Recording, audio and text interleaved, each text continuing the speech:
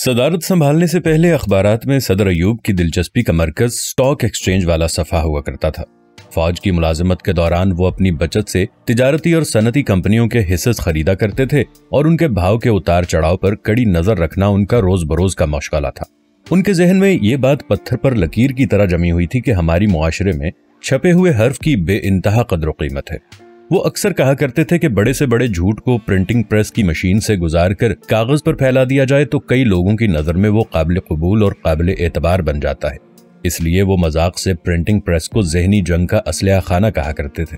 इकतदार में आते ही सदर अयूब ने वजारत इतलात के सरबरा ब्रिगेडियर एफ़ आर खान पर तरह तरह के सवाल की बोझाड़ कर दी। अखबार के मालिकों के तालीमी और माली वसाइल क्या होते हैं? जर्नलिज्म का पेशा इख्तियार करने के लिए एडिटरों और सहाफ़ियों की तालीम तरबियत और ट्रेनिंग का क्या बंदोबस्त है? छापा खाने के मालिकों को प्रिंटिंग प्रेस के नाजायज इस्तेमाल से किस तरह रोका जाता है? सहाफ़ियों की मुलाजमत की शराय और उजरत मुकर करने का क्या तरीक़ेकार राइज है? सदर अयूब अपना ये नज़रिया दो टोक अंदाज में बयान किया करते थे कि मामूली से मामूली डिस्पेंसरी में मरहम पट्टी करने और टीका लगाने के लिए जो कंपाउंडर रखे जाते हैं, उन्हें इस काम की पहले से बाकायदा तरबियत दी जाती है। लेकिन कौम के जहन में सुबह शाम टीका लगाने के लिए जो लोग सहाफत का पेशा इख्तियार करते हैं, उनके लिए किसी किस्म की ट्रेनिंग हासिल करना बिल्कुल लाजमी नहीं। ब्रिगेडियर एफ़ आर खान सदर अयूब की नफसियात से खूब वाकिफ थे और उनकी चश्मो अबरू का इशारा समझने में उस वक्त फौजी टोले में से सबसे ज़्यादा माहिर क्याफशनास थे। मार्शल लॉ हुकूमत के तर्जुमान की हैसियत से वो हर चीज़ में कीड़े निकालने के रसिया थे और ज़िंदगी के हर शोबे में ततहीर और इसलाह का रास्ता वो अपने फौजी फलसफा इनकलाब में तलाश किया करते थे।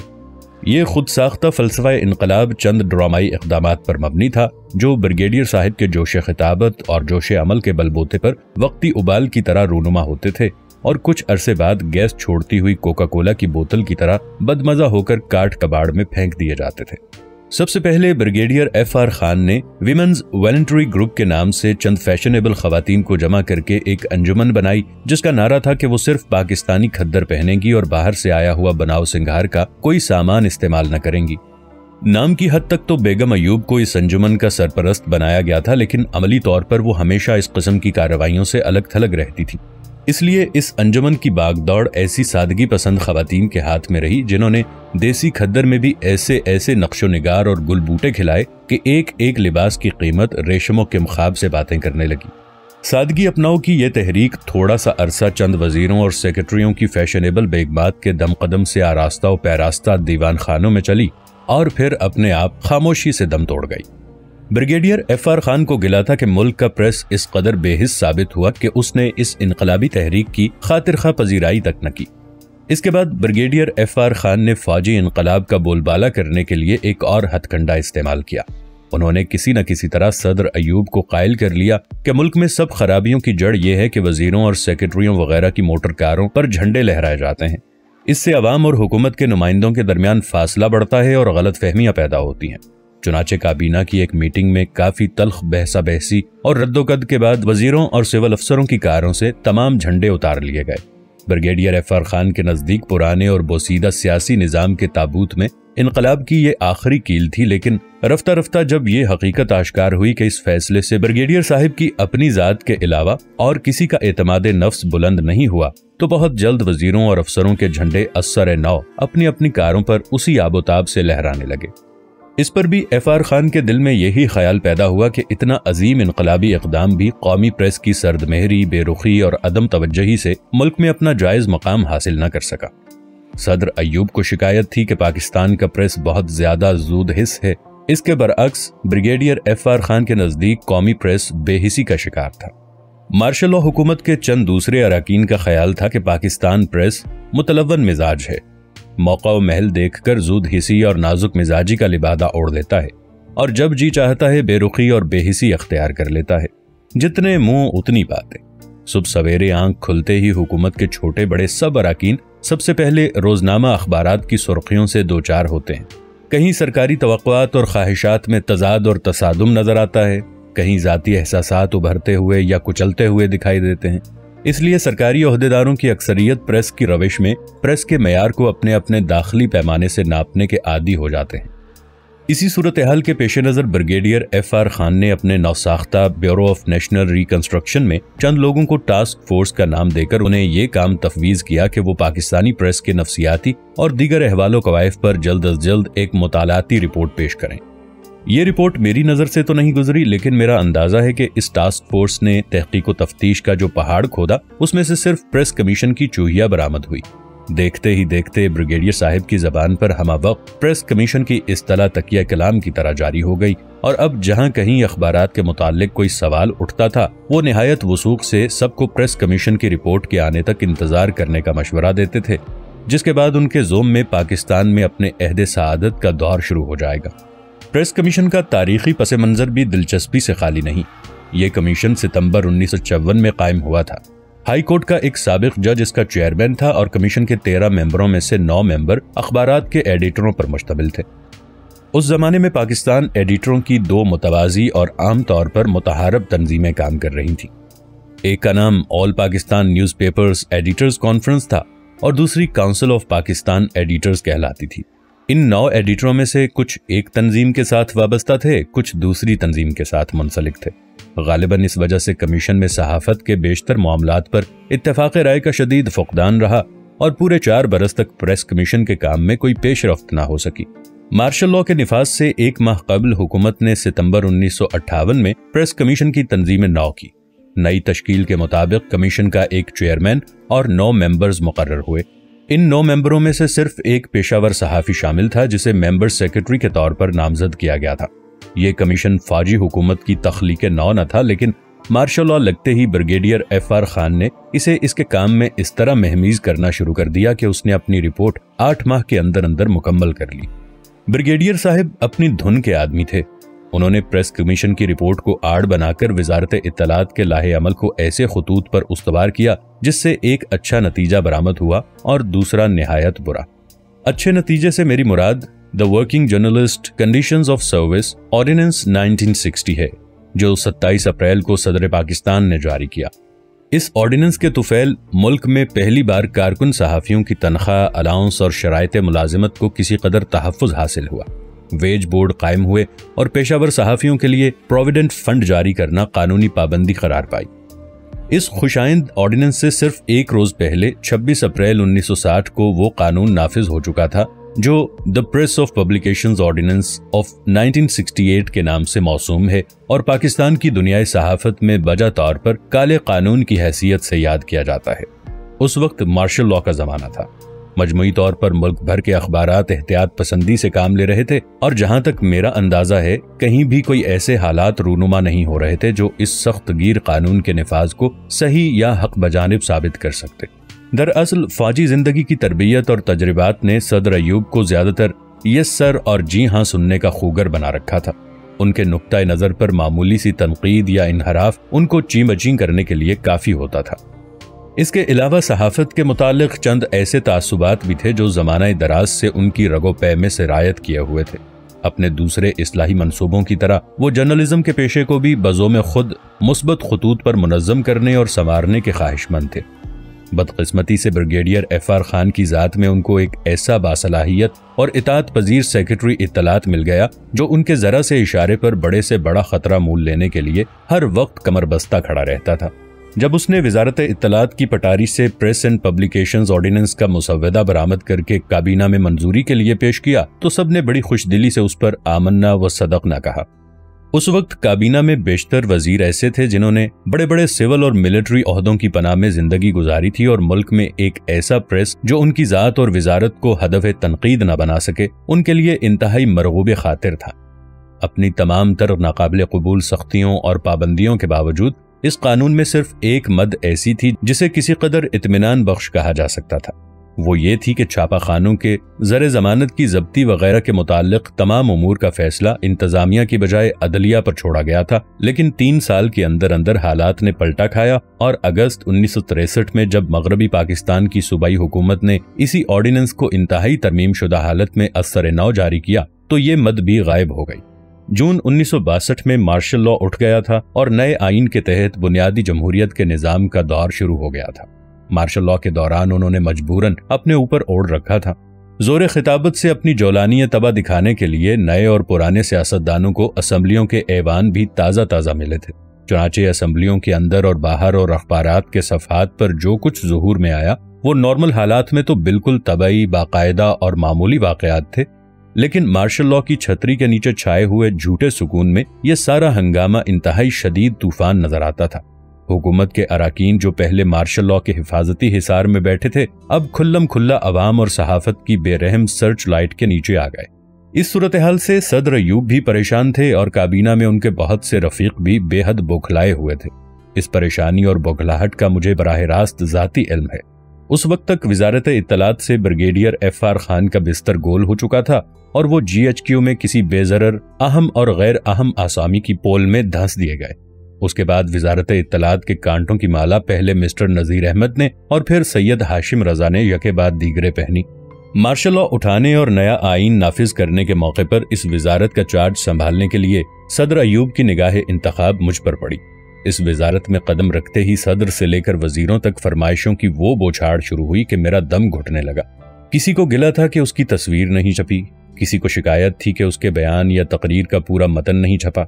कोई कहता था कि फुला तनकीद गलत है और हुकूमत का वक़ार गिराने के लिए उछाली जा रही है। आम मखलूक खुदा की तरह कभी कभी कुछ वज़ीर साहिबान भी वक्तन फवक्तन बीमार पड़ते रहते थे। उनमें से चंद ऐसे थे कि अगर उनकी बीमारी की खबर अखबार में शाया हो जाती थी तो वो उसे शरंगेजी का शोशा करार देते थे, जो अखबार वाले उनकी वजारत खत्म करने के लिए खामखा छोड़ते रहते हैं। अखबारी दुनिया में सदर ममलिकत की जात के साथ शाइस्तगी और एहतराम का सलूक रवा रखने की रस्म आम थी और जाती तौर पर सदर को किसी इंतहाई शदीद और गैर मुनासिब तनकीद का निशाना नहीं बनाया जाता था। लेकिन जब गोहर अयूब के नाम गंधारा इंडस्ट्रीज़ की मुंतकली का खड़ाक खड़ा हुआ तो ये इम्तियाज़ भी उठ गया और इस मामले पर नुकताचीनी और ले दे का वो तूफ़ान बरपा हुआ, जो अपनी शिद्दत में बेमिसाल था। सदर के वजीरों और रफीकों में कोई ऐसा न था जो इस मौके पर उन्हें तहमुल तदब्बर और जब्त नफ्स का मशवरा दे सकता। इसके बरक्स सब लोग उन्हें एड़ लगा, लगाकर इसी रास्ते पर गामजन रखना चाहते थे जो उन्होंने मेरे ख्याल में गलत तौर पर इख्तियार कर रखा था। वज़ीर खजाना मिस्टर मोहम्मद शोएब ने एक खुफिया सी प्रेस कॉन्फ्रेंस मुनद की और आदाद शुमार की शोबदाबाजी से ये साबित करने की कोशिश की कि गंधारा इंडस्ट्रीज़ की तजारती कार्रवाई में हर गिज कोई पेचीदगी नहीं। और ये इंतहाई खराब, बेलाग और साफ़ सौदा है। लेकिन उनकी मंतिक किसी को कायल न कर सकी, बल्कि उल्टा ये असर छोड़ गई कि ज़रूर दाल में कुछ काला है जिसे छुपाने की इतनी भरपूर कोशिश हो रही है। एक वज़ीर ने तो असम्बली के ऐवान में खड़े होकर यहाँ तक ऐलान कर दिया कि अगर सदर ममलिकत का बेटा गंधारा इंडस्ट्रीज़ का हकदार नहीं माना जाता तो क्या उसे किसी यतीम खाने में दाखिल कर दिया जाए? हर वज़ीर अखबार वालों पर हसब तोफीक लान तान कर रहा था कि गंधारा इंडस्ट्रीज़ की आड़ में कौमी सहाफत सरबराह ममलिकत के वक़ार को मजरू और हुकूमत वक्त की बुनियाद को कमज़ोर करने में मसरूफ अमल है। इस नकार खाने में तूती की आवाज़ सुनने की भला कहाँ गुंजाइश थी? फिर भी मैंने यही मुनासिब ख्याल किया कि सेक्रेटरी इतलात के तौर पर अपने सरकारी और सदर अयूब के साथ जाती खलूस की बिना पर अपना अखलाकी फ़र्ज़ अदा करने में कोताही ना करूँ। चुनाचे मैंने उनकी खिदमत में एक तहरीरी नोट पेश किया जिसमें मैंने नहायत अदब से सदर मोहतरम को दो बरस पहले का एक वाक़ याद दिलाने की जसारत की, जबकि पीआईडीसी ने बाजाबिता कार्रवाई के बाद मरकज के वज़ीर सनत मिस्टर अबुल कासिम खान को चिटागोंग में एक जूट मिल कायम करने की मंजूरी दी थी। जब मैंने ये फ़ाइल सदर अयूब की खिदमत में पेश की तो उन्होंने अपने हाथ से इस पर यह अहकाम सादिर फरमाए थे कि इस्तेकाक की बिना पर मिस्टर अबुल कासिम ये कारखाना लगाने के जायज़ तौर पर हकदार हैं। लेकिन इनकलाबी काबीना के वज़ीर की हैसियत से उनका ये इकदाम गलत फहमियाँ पैदा कर सकता है। इसलिए मैं दरखास्त करूँगा कि मिस्टर अबुल कासिम इस मंजूरी से कोई फ़ायदा ना उठाएँ। इसके बाद मैंने अपने नोट में सदर अयूब से पुरजोर अपील की थी कि गंदारा इंडस्ट्रीज़ के सिलसिले में भी अगर वो अपने वजह करदा इस सुनहरी उसूल को जेर अमल लाएँ तो बहुत सी गलत फहमियों का खुद ब खुद सद्देबाब हो जाएगा। सदर अयूब ने मेरा नोट पढ़ा तो ज़रूर, लेकिन इसे बिला तबसरा मेरे पास वैसे ही भेज दिया। इससे ज़ाहिर होता था कि उन्हें बात नागवार गुजरी है। रफ्ता रफ्ता उनके जीरक और पुरफराज चेहरे में मुझे वाज तौर पर यह आसार भी नज़र आना शुरू हो गए कि वो समझते हैं कि उनके लिए मेरी पहली सी इफादियत बरकरार नहीं रही। उसी जमाने में मेरे साथ एक अजीब वाकया पेश आया।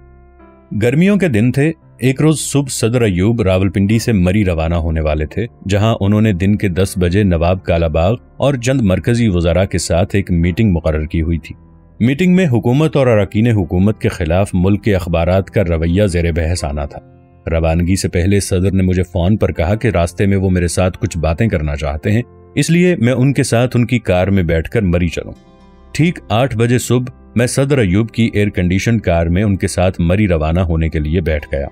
इस खुनक और आरामदेह माहौल में अचानक मुझे यूँ महसूस हुआ जैसे पल भर के लिए मुझे कुछ ऊंग सी आ गई हो। मैंने घबराकर इधर उधर देखा कि कहीं सदर अयूब मुझे ऊँगते हुए तो नहीं देख रहे। लेकिन वो किसी कदर आजुर्दगी से खफा खफा मुँह फुलाए बैठे थे, क्योंकि रवलपिंडी से मरी तक सारा रास्ता मैं गहरी नींद सो रहा था और अब हमारी गाड़ी मरी पहुंचकर गवर्नर हाउस में दाखिल हो रही थी। मैं बातें खाक करता, सदर अयूब ने किसी कदर झंझलाकर कहा, तुम तो घंटा भर गहरी नींद सोते रहे। जवाब में मेरे पास कहने को कुछ भी नहीं था। मैंने शर्मिंदा होकर इकबाली मुजरिम की तरह अपनी गर्दन झुका ली और खामोश रहा। मेरी शदीद उलझन परेशानी और नदामत भांप कर सदर अयूब किसी कदर पसीजे और मुस्कुराकर बोले, ऐसे हालात में इतनी गहरी नींद उसी को आ सकती है जिसके जमीर का बोझ नहायत हल्का हो। मीटिंग के कमरे में पहुंचकर सदर अयूब ने गालिबन लतीफे के तौर पर यह वाकया सबको सुनाया। चंद एक हजरात ने खुशामदन फरमाइशी कह कह लगाए, लेकिन नवाब कालाबाग और दो तीन वजरा बदस्तूर संजीदा रहे और उन्होंने कनखियों से कई बार मुझे बुरी तरह घूरा। हुकूमत के मुतालिक मुख्तलिफ़ अखबार के रवैये पर गुफ्तगु शुरू हुई तो एक मरहले पर नवाब कालाबाग ने कहा कि जनाब, मैंने तो सुबह के वक्त अखबार पढ़ना ही तर्क कर दिया है। आजकल अखबार हमारे ऊपर इतनी गंदगी उछालते हैं कि सुबह सुबह उन्हें पढ़कर ब्लड प्रेशर बढ़ता और तबीयत मुनद हो जाती है। इसके बाद दिन भर काम ठीक तरह नहीं होता। यह सुनकर वज़ीर खजाना मिस्टर मोहम्मद शुएब ने पूछा, नवाब साहब, अगर आप अखबार को पढ़ते हैं तो फिर नींद कैसे आती है? नवाब कालाबाग ने मुस्कुराकर मेरी तरफ़ देखा और बोले, ये राज तो मिस्टर शहाब से पूछिए। मिस्टर मोहम्मद शुएब ने भी तंज का निश्तर चलाकर फपती उड़ाई। हाँ भाई साहब ये गुर जरा हमें भी तो सिखाओ। इन दोनों हजरात का ये तान आमेज अंदाज गुफ्तगु सुनकर मुझे गुस्सा आ गया और मैंने सदर अयूब को मुखातिब करके गुजारिश की। सर, गवर्नर मगरबी पाकिस्तान और वज़ीर खजाना को यह जेब नहीं देता कि इंसानी कमज़ोरी के एक मामूली से वाक़े को आड़ बनाकर वो मुझे इस तरह तानो तशनी का निशाना बनाए। इन दोनों के इस नामुनासिब रवैये पर मैं आपकी खिदमत में शदीद एहतजाज करता हूँ। नवाब साहिब की आदत थी कि गुस्सा फुरू करने के लिए वो अपनी दोनों हथेलियों से अपनी घनी मूछों पर फरेरा करना शुरू कर दिया करते थे। वो तो होंठ भेज कर इस अमल में मसरूफ हो गए, लेकिन वज़ीर खजाना मिस्टर शोएब तैश खाकर आपे से बाहर हो गए। उन्होंने गुस्से से कपकपाती हुई आवाज़ में ज़ोर ज़ोर से चीख कर वजारत इतलात और मेरी जात पर बेसरोपा शिकायत और इल्ज़ाम का दफ्तर खोल दिया। सबसे बड़ा इल्ज़ाम यह था कि वजारत इतलात का प्रेस वालों पर कोई कंट्रोल नहीं, इसकी वजह या नाअहलियत है या मिली भगत है। नाअहलियत का इल्ज़ाम तो मैं बखुशी कबूल कर लेता, मगर मिली भगत के मुतालिक मैंने शोएब साहिब से मजीद वजाहत तलब की कि इससे उनका मतलब क्या है। जवाब में उन्होंने कई दूर अजगार वाकयात का हवाला दिया, जिनमें एक ये था कि किसी वक्त वज़ीर खजाना मेडिकल चेकअप के लिए कंबाइंड मिलिट्री हस्पताल में दाखिल हुए थे। उन्होंने अपने प्रेस ऑफिसर को हिदायत दी थी कि यह बात मुकम्मल तौर पर सीगा राज में रहे। लेकिन इसके बावजूद चंद अखबारों में यह खबर इस तरह शाया हो गई कि वज़ीर खजाना कल्ब के आर्जे में मुबतला होकर हस्पताल में दाखिल हुए हैं। शुएब साहिब का ख्याल था कि यह शरंगेज खबर सिर्फ़ इस मकसद से शाया की गई थी कि उनको जिस्मानी तौर पर माजूर और निकम्मा ज़ाहिर करके अवाम की नज़र में वजारत के नाकाबिल और नाअहल करार दिया जा सके। गर्मी गुफ्तार की रॉ में मेरे मुँह से यह जवाब निकल गया कि आर्जा कल्ब तो एक आम बीमारी है, जो हम सबको किसी न किसी वक्त लाक हो सकती है, लेकिन हमारे मुल्क के अवाम तो इस कदर सीधे इतात शार और फर्माबरदार हैं कि उन्होंने गुलाम मोहम्मद जैसे मफलूज, माजूर और अपाहज इंसान को अरसा दराज तक सरबराह ममलकत की कुर्सी पर बरजा रगबत बर्दाश्त किया। माजी के दरीचे में झाँक कर आज मैं इस वाक़े पर दोबारा गौर करता हूँ तो मुझे ये एतराफ़ करने में कोई बाक नहीं कि मेरे लिए इस तरह का जवाब देना गैर ज़रूरी और नामुनासिब था, लेकिन तीर कमान से निकल चुका था। मेरा जवाब सुनकर शोएब साहिब गुस्से के मारे कफदर दहन हो गए। कुछ आवाज़ उन्होंने बुलंद की, कुछ बुलंद बांगी मेरी जानब से उठी। ये शोरो शाब बाहर सुनाई दिया तो सदर का पर्सनल बॉडीगार्ड फ़ौरन दरवाज़ा खोलकर अंदर आ गया। उसे देखकर सदर अयूब खिसियाने से हो गए और हम दोनों भी झेप कर खामोश हो गए। सदर ने उसे हुक्म दिया कि वो बाहर जाकर चाय भिजवाए। चाय के बाद प्रेस के मामलात पर दोबारा मीटिंग शुरू हुई तो मुझे यूँ महसूस हुआ जैसे मैं इस मजलिस में एक अजनबी की तरह शामिल हूँ। कौमी प्रेस पर मज़बूत कंट्रोल कायम करने के लिए नवाब कालाबाग से लेकर हर वज़ीर बातदबीर अपनी बिसात के मुताबिक तरह तरह के नुस्खे तजवीज कर रहा था। एक साहिब कराची के रोजनामा डॉन पर गरज बरस रहे थे। दूसरे साहिब के गैज गजब का निशाना लाहौर का रोजनामा नवाए वक्त था। उनकी नज़र में ये दो अखबार सांप के मिसल थे जो हुकूमत पर डंक मारने का कोई मौका हाथ से न जाने देते। इन दोनों अखबार के जहरीले दांत निकालने के लिए भांत भांत की तदबीरें और तजवीजें पेश हो रही थीं। किसी ने मशवरा दिया कि डॉन और नवाए वक्त को भी पाकिस्तान टाइम्स और इमरूज की तरह हुकूमत के कब्जे में ले लेना चाहिए। इस पर सदर अयूब बिगड़ गए कि हुकूमत के कब्जे में आकर पाकिस्तान टाइम्स और इमरूज चल नहीं रहे, बल्कि रींग रहे हैं। अब मजीद अखबारों को कब्जे में लेकर हुकूमत कौन सा नया तीर मारेगी?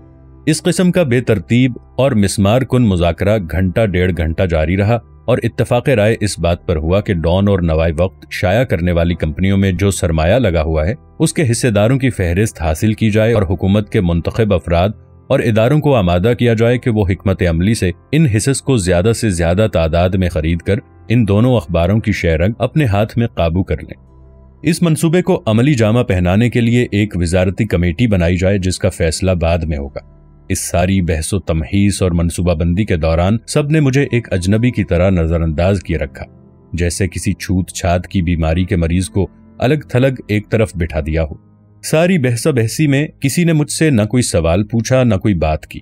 जब मीटिंग बर्खास्त होने लगी तो एक वज़ीर ने सदर से कहा, जनाब, मेरी दरखास्त है कि इस मीटिंग की कार्रवाई काबीना की रुईदाद की तरह खुफिया रखी जाए और यहाँ पर जो कुछ कहा और सुना गया है वो बाहर न निकलने पाए। ये बात सुनते ही सबकी निगाहें बेअख्तियार मेरी जानब उठ गईं।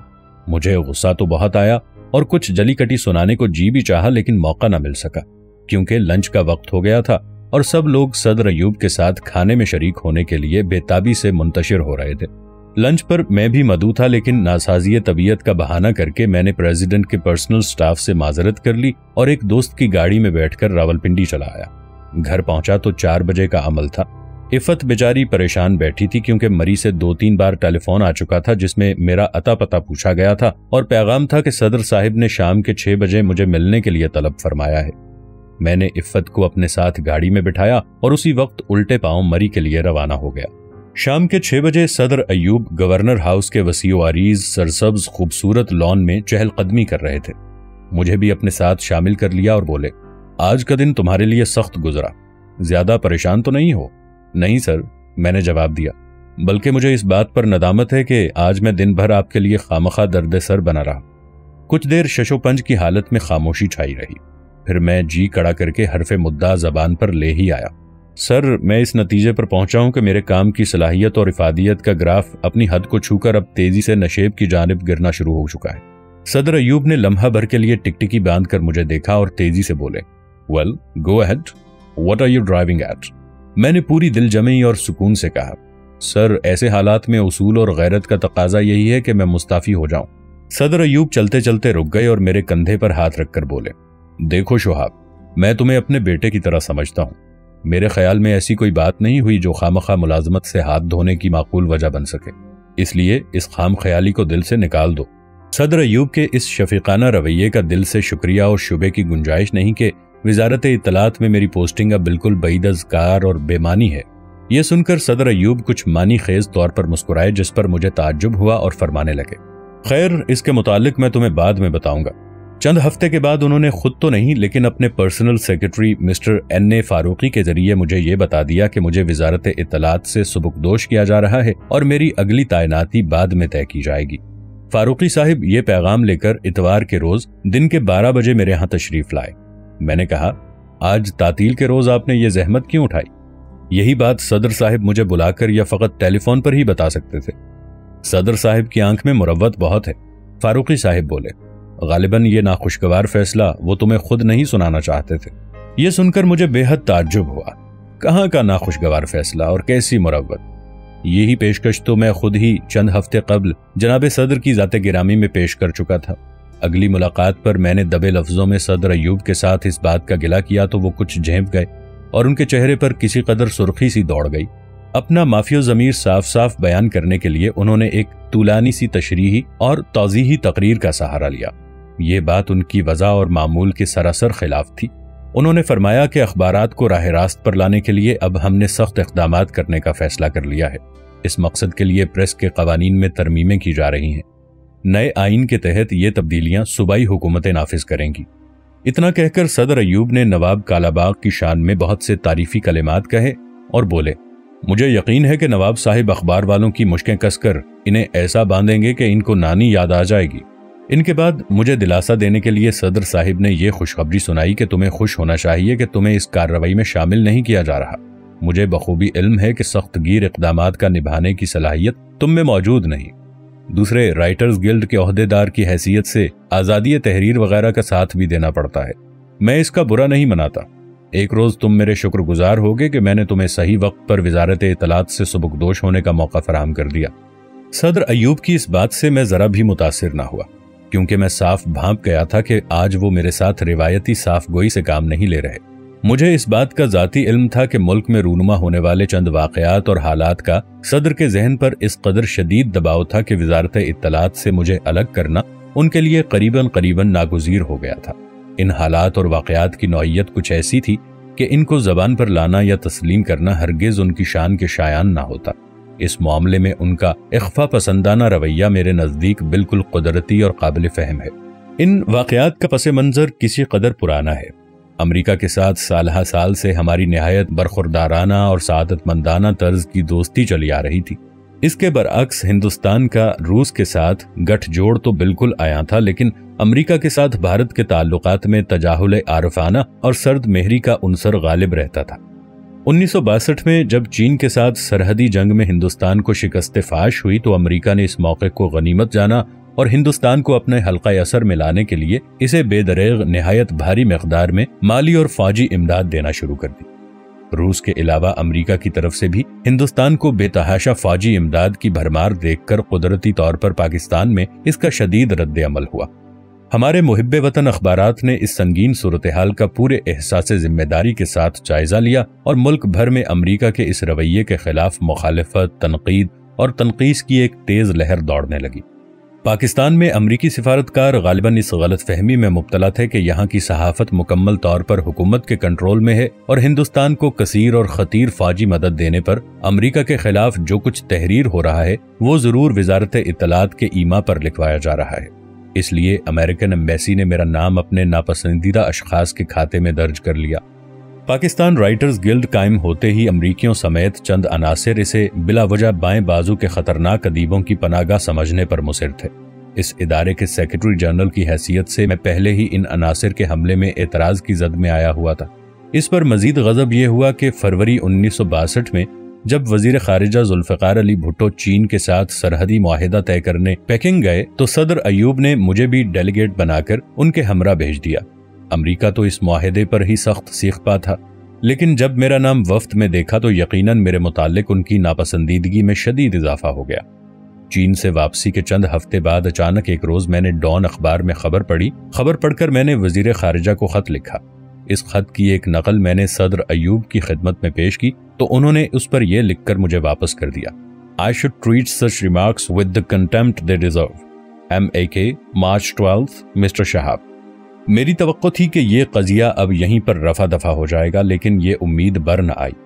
अमरीकी सिफारत खाना इंतहाई मेहनत से काम करता रहा और उन्होंने चार पाँच माह लगाकर मुख्तलिफ़ अखबारों से ऐसे बेशुमार तराशे जमा किए, जिनमें हिंदुस्तान को बेअंदाजा फौजी मदद देने और पाकिस्तान के तहफ़ को नज़रअंदाज करने के हवाले से अमरीकन हुकूमत पर कड़ी नुकता चीनी और मजम्मत का कोई न कोई पहलू निकलता था।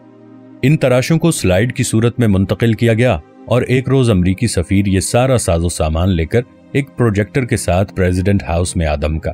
वहाँ पर उसने काफ़ी अरसा स्क्रीन लगाकर सदर अयूब को एक एक स्लाइड दिखाई और साथ ही मुजदा सुनाया कि अमेरिका के under secretary of state mister George Ball अनकरीब ही सदर कैनेडी के खसूसी एलची के तौर पर पाकिस्तान आने वाले हैं और जिन उमूर पर वो गुफ्तो शुनीद करेंगे, उनमें पाकिस्तान प्रेस का रवैया भी एजेंडे में शामिल है। इसी जमाने में हमारे अखबार में ये खबर भी नुमाया तौर पर शाया हुई थी कि किसी तकरीब में अमरीकी सफीर मिस्टर मैकनोटी ने बड़े जोम से फरमाया था कि पाकिस्तानी इंतजामिया के चंद नामरगूब अफसरों को तब्दील करवाना उनके फ़राइज मनसबी में दाखिल है। सिफारती आदाब को मलहूज खातिर रखते हुए उन्होंने किसी अफसर का नाम तो नहीं लिया था, लेकिन सहाफती हलकों के मुताबिक ये कोई राज दुरून पर्दा न था कि सफीर साहिब के बस्ताबे में मेरा नाम ज़रूर दर्ज रजिस्टर था। इन पे दर पे वाकयात का धावा इस कदर शदीद था कि इसके दबाव तले सदर अयूब का किसी कदर परेशान होना बईद अज कयास नहीं। खारिजा ताल्लुकात में वो मरन जाने मरंज पॉलिसी के हामिल थे। खास तौर पर अमेरिका के साथ ताल्लुकात के लिए उनके दिल में नहायत नर्म गोशा था। पिछले 18-20 बरस के दौरान अमेरिका और पाकिस्तान में माली और फौजी इमदाद के जो गहरे रिश्ते कायम हुए थे, इन्हें परवान चढ़ाने में अयूब खान साहिब की जात का बड़ा अमल दखल था। बर्री फौज के कमांडर इन चीफ के तौर पर अमेरिका के साथ अस्करी रवाबित, मज़बूत से मज़बूत तर करने में उन्होंने अपने मनसब की आईनी हैसियत से कहीं बढ़ चढ़कर हिस्सा लिया था। पाक अमरीका ताल्लुकात का ये ढांचा कांच का घर था, जिसमें जरा सी बेएहतियाती और बेएतदाली दरारें डाल सकती थी। इसकी बड़ी वजह यह थी कि अमेरिका का रवैया मुरबियाना और पाकिस्तान का फिदवियाना था। इसके अलावा एक सुपर पावर की तरह अमेरिका के अपने मफादात हर सूरत में पाकिस्तान के मफादात से ज़्यादा अहम थे। हिंदुस्तान के साथ ताल्लुकात उस्तवार करने की तरंग में अगर पाकिस्तान के जज्बात और तहफात को कुर्बान करना पड़ता है तो ऐसा करने में अमरीका को कोई अखलाकी या सियासी रुकावट या हिचकिचाहट दरपेश नहीं थी। एक हकीकत पसंद सरबराह ममलकत की तरह बैन अवी ताल्लुक के इस जेरो बम और पेचोखम से सदर अयूब बखूबी आशना थे। चुनाचे उन्होंने किसी किस्म की मुकावमत और मुजाहिमत की बजाय रफ़े शर के लिए आसान तरीन रास्ता ये इख्तियार किया कि मुझे बैक बीनियो दो गोश वजारत इतलात से निकाल बाहर किया। ये अलग बात है कि इस कार्रवाई की असली वजह उन्होंने पोशीदा रखी और उल्टा मुझ पर एहसान धर के मुझे इस अखराज पर शुक्रगुजार होने की तलकीन की। लेकिन सहाफत के मुहिमजू रिपोर्टर इस तरह के राज हाय दुरों का खोज लगाने में यद तूला रखते हैं। पहले तो एक खबर ये शाये हुई कि वज़ीर खजाना मिस्टर मोहम्मद शुएब से अख्तलाफात की बिना पर मैंने मुलाजमत से इस्तीफा दे दिया है। लेकिन हुकूमत ने फ़ौरन इसकी तरदीद कर दी।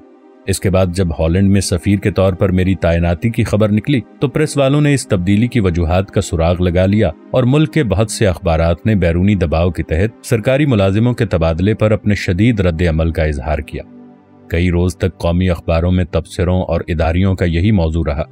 मेरे तबादले के सिलसिले में गैर मुल्की मुदाखलत पर अखबार की ख्याल आराइयों ने कुछ ऐसी शिद्दत इख्तियार कर ली कि सदर के personal secretary mister N A Farooqui ने एक प्रेस रिलीज़ में इन कयास आराइयों को कतई बेबुनियाद और शरंगेज करार दिया और कहा कि तमाम सरकारी तबादले मुल्की जरूरियात के पेश नज़र किए जाते हैं और हुकूमत पाकिस्तान किसी हालत में भी किसी गैर मुल्की ताकत की मुदाखलत बर्दाश्त नहीं करेगी। जुलाई उन्नीस सौ बासठ के आखिर में जैसे ही ये फैसला हुआ कि मैंने सफ़ीर बनकर हॉलैंड जाना है तो मैंने सदर अयूब से दरखास्त की कि मुझे फ़ौरन वजारत इतलात से फारिग कर दिया जाए, ताकि मैं चंद हफ़्ते यहाँ छुट्टी गुजार कर हॉलैंड चला जाऊँ। इस बात पर वो रजामंद न हुए, क्योंकि मगरबी पाकिस्तान के फाइनेंस सेक्रेटरी अल्ताफ गौहर, जो मेरी जगह मरकजी सेक्रेटरी इतलात बनाए जा रहे थे, उन दिनों अमरीका गए थे। सदर साहिब ने हुक्म दिया कि मैं उनके आने तक बदस्तूर अपनी जगह काम करता रहूँ। अगले छह सात हफ़्ते मेरे लिए बड़े सुहाने रूह साबित हुए। मैं नाकाम सेक्रेटरी इतलात ज़रूर था, लेकिन काम के लिहाज से अमली तौर पर उजवे मअतल बन चुका था। उन दिनों मेरा काम सिर्फ़ इतना था कि रूटीन के तौर पर मिनिस्ट्री का बंदा टका, रोज़मर्रा का दस्तूरुल अमल निभाता रहूँ, और इस सारे अरसे के दौरान पॉलिसी का एक मामला भी मेरे पास न आया। काफ़ी अरसा पहले council of Pakistan newspapers editors के साथ मेरी एक मीटिंग मुकर्र चली आ रही थी।